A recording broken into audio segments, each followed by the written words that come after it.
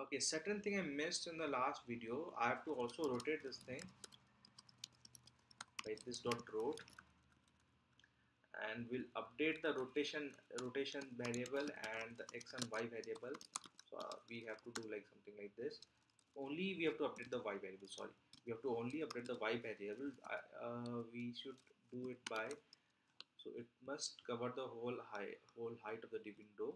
We have already h. Now we'll just do h by 15 so it must like go at a speed of 15 at each time it will cover uh, the 15 uh, so after 15 times after 15 iteration uh, it will go to the bottom.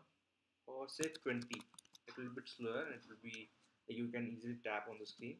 And the rotation value will be somewhere around 360 by 30 okay so we'll say 12 or just say uh, so in the speed here is 20 as we call h as 20 so this will depend on 20 so we have to also compare it within 20 time uh, 20 thing 20 second or something 20 into duration of that uh, like time gap or something uh, time gap. So now we'll just do 360 by speed. Okay? This work. And we'll have another method called handle tap. We have to also tap on the star this will return a boolean which will be this dot x if this dot x is greater than sorry. If x is within the star size the star rectangle then only we are handling the tap. So it will be this dot x minus r and x is equal to this dot x is less than equal to this dot x plus r and x is uh, sorry not r this dot size. I'm sorry for it. Uh, this dot size by 2 r is size by 2 so we don't have a r as a global variable or r as in, in, in this. And similarly for y also we'll have the same logic. We'll just copy and change x to y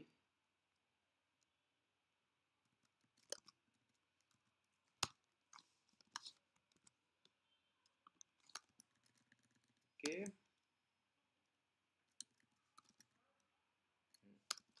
so oh, so generally if you're uh, trying to tap inside a star so you have to tap within the the rectangle of the star. Like uh, you have the star right? So this thing if you join from this edge to this edge to this all the edges you'll get a rectangle okay? Uh, like all vertical lines. You will draw vertical line here vertical line here to uh, touch the edge. Vertical line here to touch the edge. Vertical line here to touch the edge. You will get a rectangle okay? And if you're trying to tap in it it must be inside the rectangle. If it is centered at x comma y and it's uh, like this thing is size okay so it is uh, less than this uh, this is size by 2 this is size by 2 its length is uh, length is size size and height is size.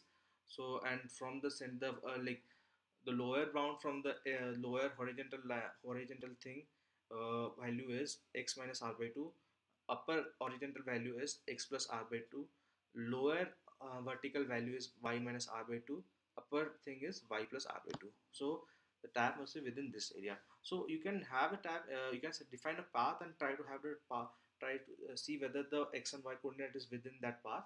Or you can have the rectangle. It uh, maybe you tapping here will have the same effect but it will work. Like this thing is good. Like sometimes it's okay to issue if you tap x is the area x is the area or, or something like that. So I'm fine with it and it will return a boolean. Speed is 20 and all. So we have created a star class. I will just add it to the previous commit. You'll find this in a github repo which I'll share in the link. Uh, I'll just have plug on my charger. Yeah now discharging let's create a star container star container will contain the stars. That will create the stars randomly at random position. So constructor will take constructor the stars array and the time it is rendered. So based on from the time it is rendered we'll create the stars. We have a create stars method which will create the stars. We have a draw stars method. We have an update stars method. Okay will the handle tap thing. Okay we'll have a handle tap thing which will take the x and y and it will try to pass this x and y to the handle tap of each star. So let's start draw will take a context variable because we have to draw with the help of context. Are we having context here? No for the slide issue so take context in the star variable star method uh, stars draw method also.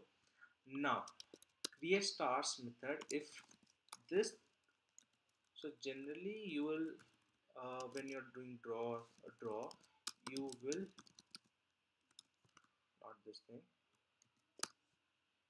Uh, when creating this thing you will see if render equal to equal to render percentile uh, 15 equal to equal to 0 so like after 15 times the after each 15 uh, milliseconds or 15 times the speed like time delay you will create a ball.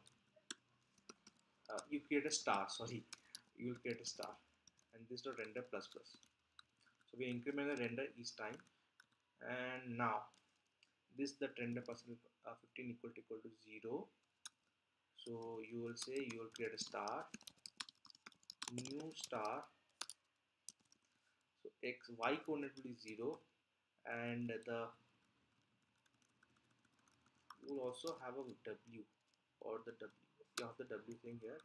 So you will set the size of the star according to the width and height of the window. So width is already defined in w. So you will use w instead of h. You have to use w by 30 and here you will say or the highest dimension by 30 you will do math.max value h by 30 and now okay it will be at zero position and this will be it will the y position will start from uh, zero.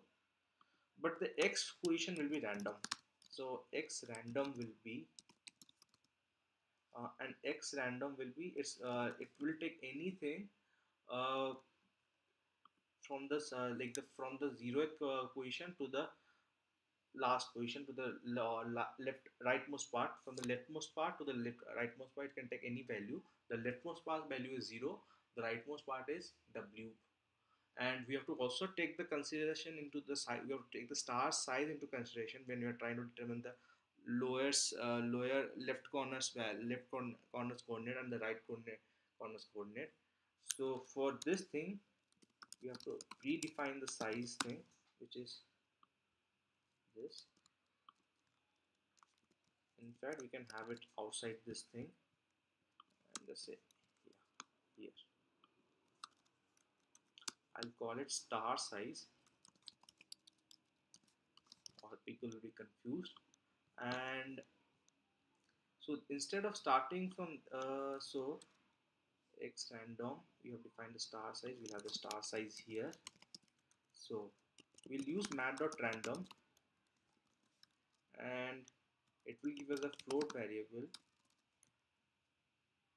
into anything like uh, it must have an initial value like uh, it, the left corner must be the initial value. The left corner value here will be star size okay? The and into the um, the difference between the left corner and right corner and the left corner. That is w minus 2 cross star size. So the last the rightmost corner part will be w minus star size uh, so I can write this point here.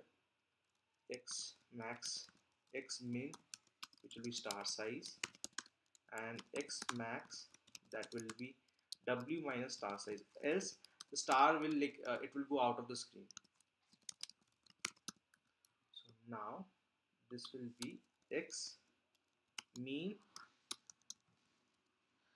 and this thing will be x max minus x mean okay? This is render plus plus. Now we have to update this uh, draw the stars. We'll push this new created uh, star into the stars array. Push star. Okay. Now we have to draw the star. We have to use for each. And star. Star dot draw context. Okay. Now we have to update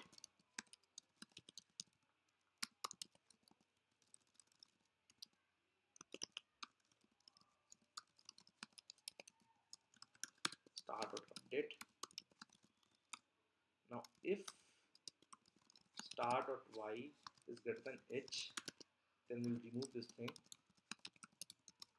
We'll have a use we'll remove the star we'll use the index and we'll use splice from the stars array. So index comma 1 now we'll check whether we are handling that we're handling ta tap in the star or not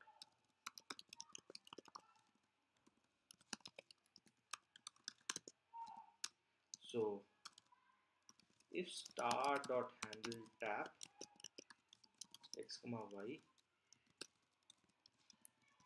then we'll also have an index variable here and we'll remove this star from the stars array using splice. Index comma 1 okay. We have to also set the fill style which will be something like let's take an example. Something from material ui.colors or material uicolor.com this two site a very good site to get material color. And now we'll choose a color for we'll choose amber. Amber is a very good color. Uh, sorry. And we'll add this to star container